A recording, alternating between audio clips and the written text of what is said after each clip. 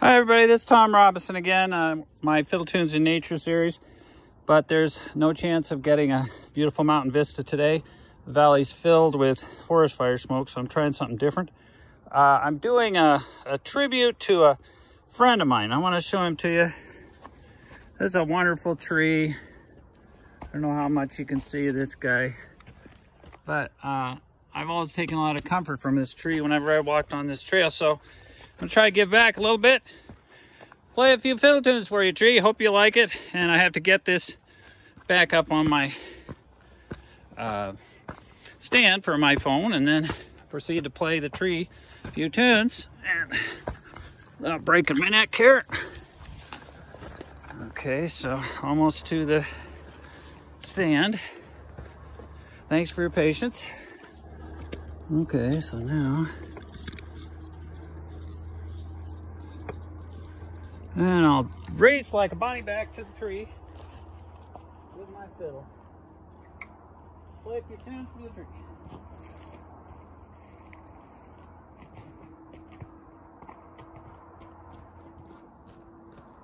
Okay, here we go, Mr. Tree. A few Irish jigs and a few Irish reels.